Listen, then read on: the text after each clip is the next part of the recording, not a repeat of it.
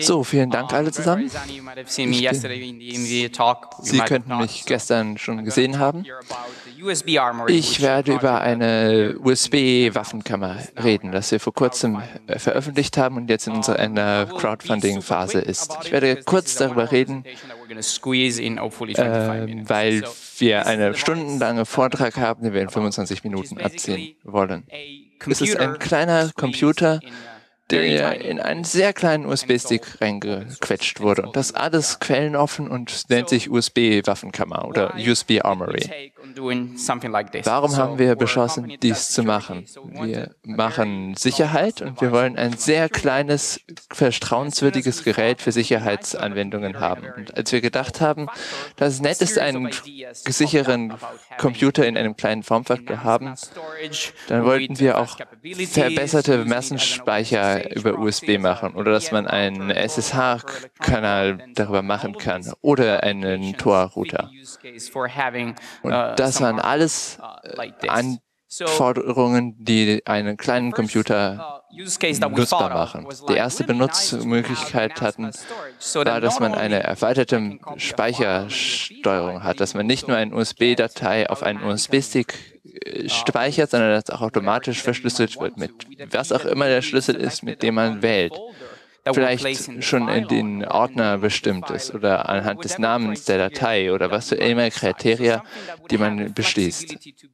Irgendwas, was sehr einfach ist, zu benutzt zu werden, wie man es möchte. Nicht eine einzelne Funktionshardware hat, sondern dass man ein sehr ein Multipurpose hat.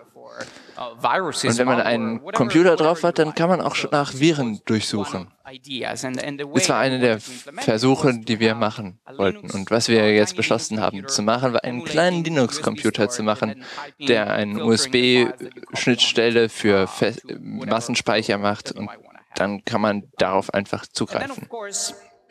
Und dann natürlich, als diese Idee realisierbar wurde, hatten wir gesagt, man kann so viel mehr darüber machen. Wenn wir ein kleines Gerät haben, das ein Computer ist, dann kann man darüber auch TCP/IP machen. Und dann kann man die Datei gleich uploaden oder per E-Mail weitersenden. Oder ein Google Drive, wenn Google ein schlechtes Wort für diese Gruppe ist. Was auch für immer eine Fall Sharing oder direkter Hochlademechanismus hat. Und das alles hängt davon ab, dass man einen sehr kleinen und einfachen Computer auf einer Größe eines USB-Sticks hat. Und dann haben wir uns gedacht, wir können noch so viel mehr machen. Was zum Beispiel für, wenn man Deniability hat, wenn man einen speziellen Namen, ja, wenn eine Datei mit einem speziellen Namen hat. Und wenn man diese Datei erstellt wird, dann löscht sich die, alle Dateien von der Festplatte automatisch. Alle diese Funktionen kann man nicht herkriegen ohne einen, mit einem normalen USB-Stick oder mit irgendeinem anderen kommerziellen Produkt, das aktuell da draußen ist. Ah, sehen, wie wir darüber nachgedacht haben. Sobald wir darüber nachgedacht haben, einen so kleinen, äh, offen, quellenoffenen äh, Design haben, dann haben wir ganz viele Ideen bekommen, wie wir das durchsetzen können oder was wir damit machen können. Natürlich kann es auch als SSH-Proxy benutzt werden. Zum Beispiel, wenn man einen unvertrauenswürdigen Computer benutzt und man möchte einen SSH-Server kontaktieren darüber, dann kontaktiert man den USB-Gerät zu dem Computer. Es wird über TCP/HP erstellt wird man SSH dazu mit einem einmal benutzbaren Passwort oder einem Passwort, das man egal ist, ob man das benutzt. Und dann von dem aus installiert man über SSH zu einem Gerät über die vorinstallierten Schlüssel, die nicht auf dem Hostcomputer berühren. Es kann auch als Passwortmanager benutzt werden. Warum nicht? Entweder was sehr Einfaches, wo man eine PIN benutzt und die Webapplikation wird über einen PIN entschlüsselt wird oder ins Clipboard kopiert wird oder es wird angezeigt oder man kann sogar ein Proxy auf dem Gerät haben, das mit jedem beliebigen Passwort, das man da hinschreibt und es wird durch das Originalpasswort Passwort ersetzt. Und es wird nie auf dem Computer veröffentlicht oder ist nie drauf. Diese Möglichkeiten sind alle nur dadurch möglich, dass man einen kleinen USB-Computer hat, der über USB angeschlossen wird. Natürlich kann man das Ganze auch als Authentifizierungstoken benutzen, über, zum Beispiel über das FIDO-Protokoll. Oder auch das Google Authentifizierungstoken. Also Genauso kann man, den, äh, ist es sehr interessant, die Idee, ähm, mit was man solche Hardware erreichen kann, was ich wirklich mag. Man kann kontrollieren, ähm, ob der Host immer noch äh, derselbe ist. Also man kann ihn authentifizieren über den USB. Ähm, der USB ist ein, ein, eigenes Gerät mit seinem eigenen Kernel, mit seiner eigenen Sicherheit äh, und man kann ihn einstellen, wie man will dieses Gerät kann mit deinem Rechner kommunizieren und es kann äh, sicherstellen, dass es der wirklich, dass es der richtige Rechner ist, mit dem man kommuniziert. Man kann zum Beispiel ganz einfach den SSH, den SSH Finger, äh, Fingerprint kontrollieren und dann kann man sich äh, selbst entscheiden, was man macht, wenn das Gerät nicht äh, vertraut ist. Zum Beispiel man kann einstellen, dass das der USB-Stick sich selbst löscht oder ähm, oder dass man ähm, äh, das Gerät, den USB-Stick lockt.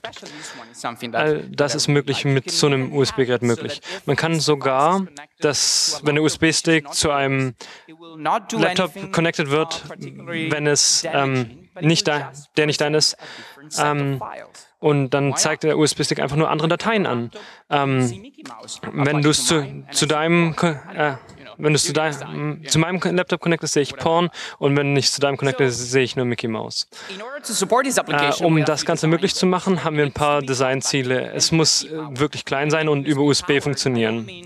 Und über USB funktionieren, äh, USB-powered meine ich nicht USB ähm, mit Netzteil, sondern nur ein USB, der wirklich mit den 5 Volt des USB-Ports läuft. Es braucht einen schnellen Prozessor und keinen sehr, sehr langsamen äh, Mikroprozessor, was vielleicht funktionieren würde, aber dazu müsste man den Code sehr optimisieren. Wir wollen aber etwas, was sehr schnell ist und ähm, das Ganze angenehm macht. Wir hätten gerne ein Secure Boot. Äh, wir würden gerne ähm, das Ganze mit unserem Key sein können, dass auch nur meine Sachen ausgeführt werden. Ähm, natürlich äh, Standardverbindung über USB und ähm, dass man das Ganze in einer bekannten Entwicklungsumgebung ähm, entwickeln kann. Also nicht irgendwas, was wirklich schwer modifiziert werden muss, damit man damit arbeiten kann.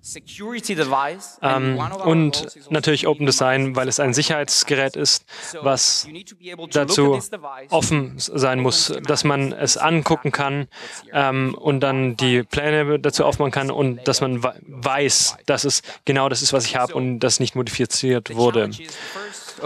Ähm, die erste Herausforderung in vielen Herausforderungen war, ähm, das äh, System äh, für den, den SOC auszuwählen.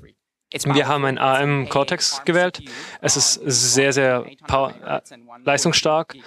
Ähm, jedes, ähm, fast, fast jedes Datenblatt äh, und Handbuch ist öffentlich. Ähm, ähm, die Datensheets sind okay, also besser als anderen äh, Herstellern.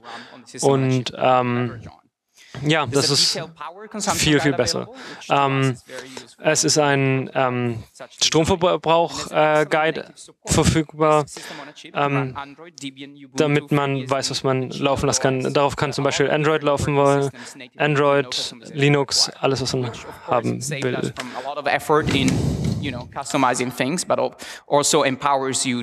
es ermöglicht euch, ähm, Um, and also this specific system on a chip is a good stock and production support guarantee because you don't want to commit to a design and then Man will sich nicht äh, zu einem Design festlegen und dann feststellen, dass das nicht möglich ist. Ähm, ich springe über die Folie, weil wir haben nicht allzu viel Zeit. Ähm, eine Sache, die wir uns anschauen, ähm, ist, warum wir, ähm, also das gibt uns die Möglichkeit, die Software ähm, zu trennen von der, von der Mit diesem Gerät wollen wir ähm, das Ganze ändern. Das hier ist kein Speichergerät, von dem wir booten, sondern es ist ein unabhängiger Computer uh, and having the so-called normal and secure world that Truston uh, supports. And these two words are completely um, separate. And the interesting thing about das Interessante an dem Ganzen ist, separate uh, something like the memory space and the code execution segments, but also all the different hardware. Auch die ganzen unterschiedlichen äh, Hardware-Unterkomponenten, die auf dem Chip sind, kann man sicherer machen. Ein weiteres Beispiel ist, dass eine LED auf dem Gerät ist. Diese LED zum Beispiel kann man dazu benutzen, dass nur wenn es sicher ist. Das heißt, immer wenn die LED an ist, weiß man, dass danach, wie das Gerät belegt ist, dann ist in dieser Zeitpunkt ist der sichere Container am Laufen und nicht der normale. Nur dadurch, dass man auf die LED schaut. Und wir haben uns gedacht, das ist eine sehr coole Idee. Also diese Art und Weise ist das eine der coolen Ideen, ist, dass man die Verschlüsselung, die Verschlüsselung auf dem Micro-SD-Karte auf einem sicheren Einheit macht, sodass selbst wenn die USB, der Linux-Compiler problematisch ist, dann kann man immer noch nicht die Verschlüsselungskeys aus dem Speicher entfernen, weil der Speicher nicht direkt von den US äh, vom Linux-Kernel angeschossen werden kann.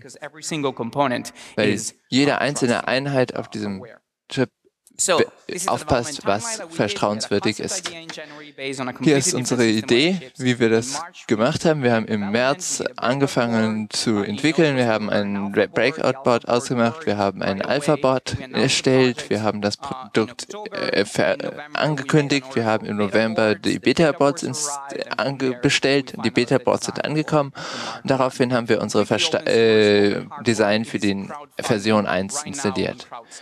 Im Moment wird es bei CrowdSupply äh, crowdfunded und wir sind bei 71 Prozent. Das heißt, wenn Sie daran interessiert sind, können Sie dort einen vorbestellen. Es ist, arbeitet vom USB Host Power, es arbeitet mit einem Micro SD Kartenslot und alles läuft von der Micro SD Karte. Es gibt 5 Pin Breakout Header, wo man Flash Granular Purpose Input Output Pins verwenden kann. Eins davon wird von der USB verwendet. Wir haben es schon mit Ubuntu, Debian und Android und Ubuntu verwendet und es läuft alles problemlos. Und wir können auch Ethernet uh, und Massensteuermedium uh, verwenden können. Natürlich, soweit haben wir nur das Gerätmodus uh, gezeigt. Und während wir das Gerät entwickelt haben, waren wir ein bisschen dumm, weil wir die IDE-Pin von USB on the go gemacht, Richtung auf den Modus gesetzt haben. Und wir können das Gerät auch in den Host-Mode ändern. Das heißt, wenn man einen Female-to-Female-Adapter hat, zum Beispiel hier mit diesem Breadboard, man kann eine Maus und eine USB und einen USB-Screen und einen USB WLAN-Adapter machen kann, dann kann man das Ganze nur durch eine Veränderung der Software verwenden und als eigenen Computer verwenden. Dann muss man nur den Modus verändern und man kann es als USB-Gerät machen. Das heißt, für Leute, die wirklich paranoid sind, kann man das als einzelstehendes Gerät nehmen. Das ist die, wie es aussieht. Je, jeder kann dieses Gerät auf einem Breadboard nachbauen, diesen USB-Adapter. Das heißt, man braucht nur einen Powered USB-Hub und man kann beliebige Anschlüsse dran machen in im, im Host-Mode, dass man direkt als Computer benutzt. Okay, was waren die Sachen, die Probleme, die wir dabei hatten? Okay, natürlich gab es einen, Bulk, einen komplett komischen Chip und es war sehr schwierig, diese Chips per Hand herzustellen. Vielleicht sind ein paar von ihnen besser, aber wir konnten diese nicht per Hand machen. Wir haben also einfach nur die äh, Boards bestellen. Wir haben dieses Design erstellt und wir haben zwei bis zehn Geräte gemacht, weil es eine sehr hohe Spezifikation war. Und wir haben gehofft, dass das raus, richtig rauskam. Und das war eines der großen Probleme. Wir haben gesagt, wir haben gedacht, lasst es uns ein bisschen anders machen. Lasst uns einen Prototyping Board machen und wir machen ein sehr teures Board und machen einen sehr teuren Adapter und wir können den einfach einstecken, ohne dass wir was löten müssen. Und vielleicht können wir darüber starten und fast alles ausprobieren, außer den Speicher und wir können alle möglichen Sachen ausprobieren, ohne dass wir sehr viele Geräte bestellen müssen. Also haben wir hier ein Board ausprobiert. Aber Darth Vader, der oben, hat den Admiral, meinen Kollegen, getötet. Nach dem Motto, du hast das letzte Mal einen Fehler für mich gemacht. Denn selbst nach zehn äh, Stellen von zehn von denen hier hat es immer noch nicht funktioniert, weil die Toleranz zwischen den in den Entfernungen war einfach so groß, dass es man per Hand machen kann, so sorgfältig wie man sein kann.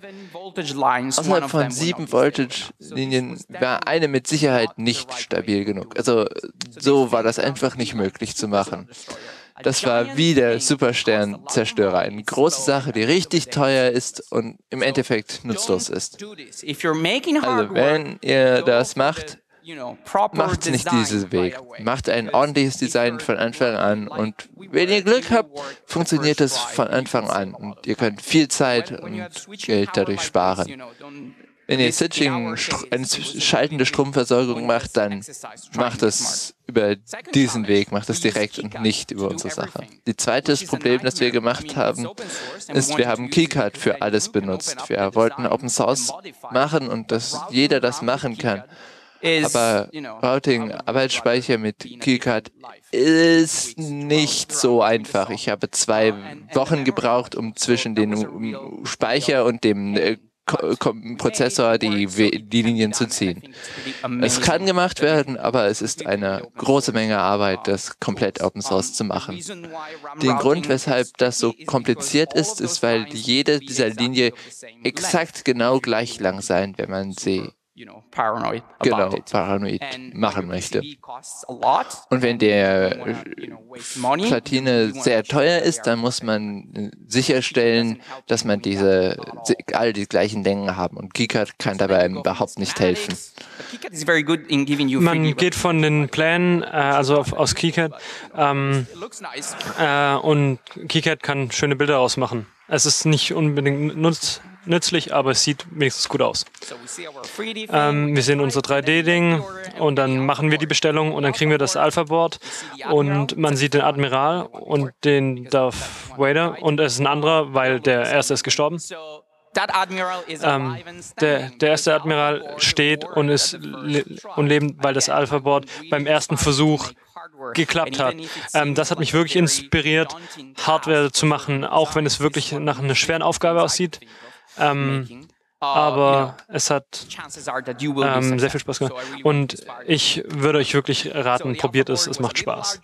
Das Alphabot war ein bisschen, war ein bisschen größer, äh, damit wir noch ein JTAG-Device anbringen können, äh, damit wir Debugging-Optionen hatten uh, ähm, uh, und Probleme lösen konnten. Und ja, zum Beispiel, wenn das äh, Gerät nicht startet. Also äh, genauso muss man halt mit dem Hersteller wirklich viel äh, arbeiten, weil wir ein Design auf Keycard entwickelt. Ähm, heißt es nicht unbedingt, dass man das produzieren kann äh, in, einem, in größeren Stückzahlen. Äh, also war es wirklich wichtig, mit dem Hersteller zu arbeiten, um zu verstehen, wie die Maschinen dort funktionieren, wie das Ganze gelötet wird. Ähm, und das Ganze und wie das Ganze produziert werden kann. Wenn man was in der und wenn das in diese Größe macht, äh, vergewaltigt man so ziemlich jede Größe, die ähm, für die ganzen Teile vorgeschrieben sind. Ähm, es ist, oh, ähm, du fragst mich, ich sollte ähm, so und so viel Platz haben oder ich sollte rechtsrum um das äh, Bauteil gehen, aber ich hab, kann dort nicht lang, weil das Ganze belegt ist.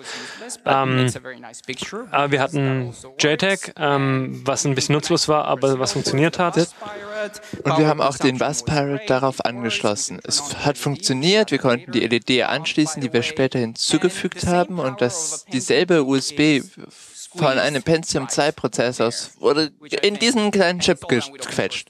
Und alles wird Open Source Tools. Ich finde, dass es eine richtig tolle Sache ist. Und jeder kann das machen. Thank you.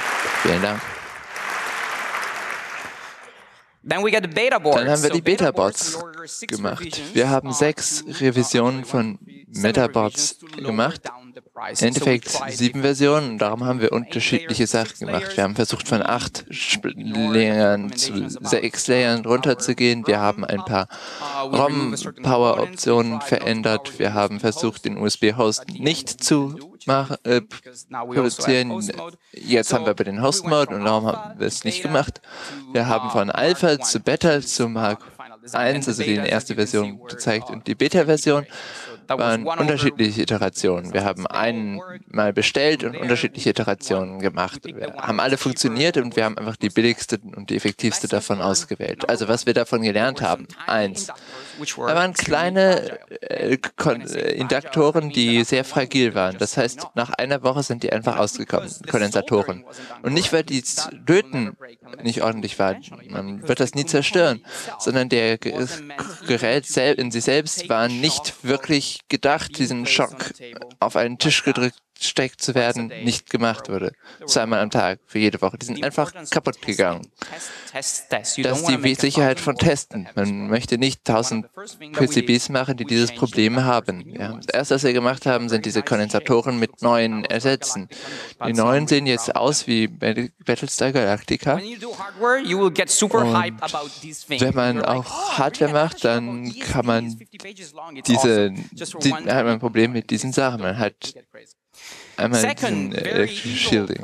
Noch ein weiteres großes Problem ist Goldplating. Wir brauchten ordentliches Go Vergoldung der, Implant der Implantation, dass es auch nach mehr als 50 Mal weiter funktioniert. Wie man Goldvergoldung macht, was wir den, wie der, unser Hersteller das gemacht hat, ist in diesem Fall in der Beta-Version die brauchen ein paar Kontaktpunkte, um die Skull draufzubringen. Sie haben vier kleine Spuren gemacht, die nach außen über die Kante des Boards gegangen sind. Was da passiert ist, wir haben das Board reingesteckt, wir haben fünf Sekunden später und dann startet es. Jedes Mal. Und wir haben uns gefragt, wo kommen diese fünf Sekunden her?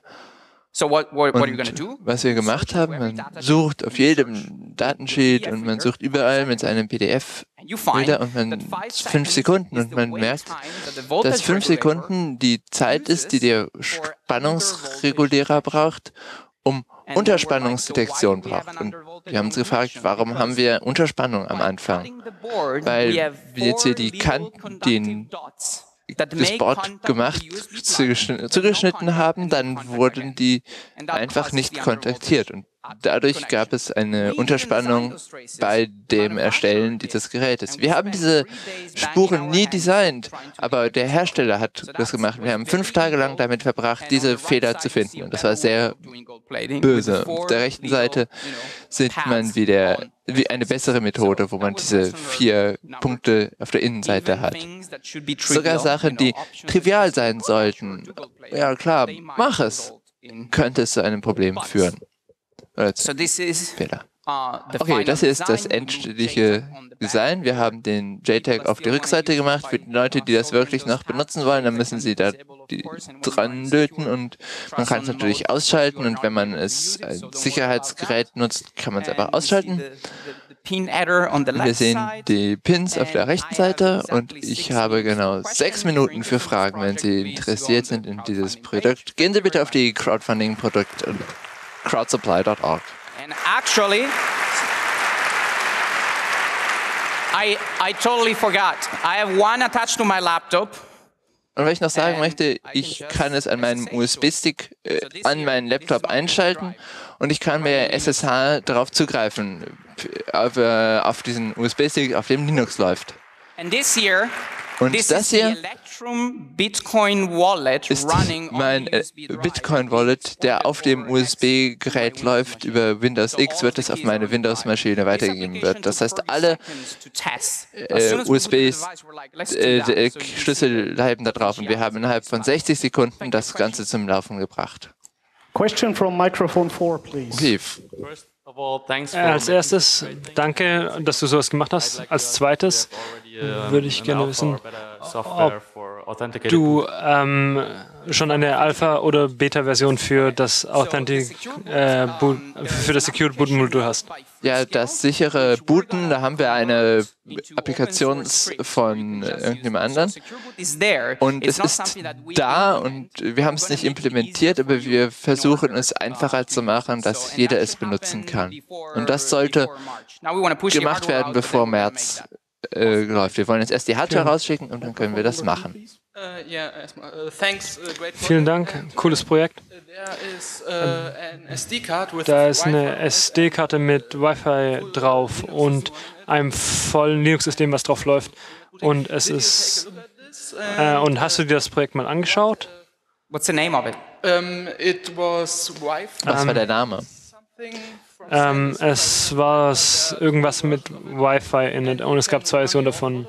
Und man kann seinen eigenen, seinen eigenen Code drauf laufen lassen. Man hat zwar die US, äh, USB Debuggen ähm, äh, Option zwar nicht, aber man kann darüber äh, Dateien über äh, Wi-Fi erteilen, zum Beispiel für Fotos. Es, hat ein, es, hat ein, es hatte ein paar weniger. Ähm, bevor, bevor wir diese Idee hatten, haben wir natürlich alles ausprobiert. Und es gab nichts, das dieselben Funktionen hat und Open Source war. Und manche davon brauchen mehr als 500 Milliampere um HDMI und die CPU und WLAN zu benutzen. Und ein Stromadapter, zum Beispiel Micro-USB-Formfaktor, werden unser wird komplett vom USB-Hub gestartet. Keine der Qualitäten existierten, als wir das Programm gestartet haben und ich glaube nicht, dass es immer, immer noch, dass es keine solche gibt. In meiner Meinung ist dieses einmalig. Vielen Dank. Mikrofon 5. Do you have experienced any heat problems? Ich würde gerne wissen, ob du ähm, Wärmeprobleme hattest. Und als zweite Frage, ähm, kann, kannst du dir vorstellen, ein robustes Gehäuse außen drum, außen drum zu bauen, äh, was zum Beispiel, da, dass es an dem Schlüsselbund getragen werden kann? Wir arbeiten an einem Gehäuse gerade im Moment und wir hoffen, dass eine in Crowd-Supply eine Gehäuseoption möglich ist. Und das andererseits Open Source, das heißt, jeder, der ein Gehäuse machen kann, kann es machen. Wir haben es natürlich getestet in Richtung Hitze oder Wärme. Wenn man die 100, den USB, die Festplatte komplett benutzt für 100 Prozent, dann wird es warm, aber es zerstört nicht die, Fest, die, das, die Platine. Also natürlich wird es heiß, wie jeder CPU, aber es ist kein Problem. Das haben wir ausprobiert. Hi, thank you for the great work. Vielen Dank für die coole, äh, tolle Arbeit. Meine Frage ist über das ganze Open Source. Und soweit ich weiß, ähm, ähm, dass man mit AMD ein Non-Disclosure Agreement unterzeichnen muss. Das äh, stimmt das? Das stimmt absolut nicht. Viele äh, Sachen sind öffentlich verschlüsselt, äh, sind öffentlich veröffentlicht für alle. Es gibt zwei Aspekte. Das eine ist, ARM sagt dir, welche, welche Befehle vorhanden sind. Und das ist öffentlich. Und der Hardware-Support, der äh, von jedem Hersteller unterschiedlich ist, ähm, ist unter Non-Disclosure Agreement, aber alles, was man wirklich braucht, um es zu benutzen, ist öffentlich. Mikrofon 3. Hallo, ähm, nochmal danke für das tolle Projekt. Wenn man es als äh, Standard, also als Standalone-Computer benutzen kann. Es wäre wirklich nützlich, äh, HDMI hinzufügen. Äh, geht das? Ja, was du darüber nachdenken musst, wenn man fest Hardware macht, dann läuft man aus dem Weg, wenn man zu viele Sachen dran macht. Wir wollen einfache äh, Sachen haben und äh, haben deswegen nie darüber nachgedacht, HDMI zu machen. Und weil wir diese einfache Methode gemacht haben, kann man HDMI äh, Hausgerät haben und man kann darüber einen USB-Monitor anschließen und man muss kann es deswegen trotzdem als Standalone-Gerät machen und möchte, ähm, kann deswegen es trotzdem als Standalone-Gerät machen. Wir wollen nicht ein HDMI-Multimedia-Gerät machen. Und äh, es ist natürlich quellenoffen. Das heißt, wenn man den Anschluss haben möchte, dann muss man das selber machen. Letzte Frage von Mikrofon 2. Wenn ich das richtig verstanden habe, kann ich meinen eigenen Schlüssel auf dem, ähm, auf dem Device ablegen, um die Software zu verifizieren. Ja. Wie genau funktioniert das? Also wie, wie kann ich meinen eigenen Schlüssel auf dem Ganzen ablegen? Okay. Es gibt die Möglichkeit, von einem äh, Bootloader das zu machen oder von Linux. Man kann das in den äh, in, ein, in ein Register schreiben. Man hat vier Schreibplätze. Und also man kann auch einen Zurückrufschlüssel hinzufügen. Man kann bis zu vier Schlüssel reinspeichern. Und das sind deine. Die kann man machen. Und wenn die, wenn man die ausruft, führt, dann muss man der Bootloader damit Schlüssel, äh, signiert worden sein. Sonst startet das Ganze nicht. Vielen Dank für Andrea. Eine warme Runde Applaus für ihn. Damit sind wir am Ende dieser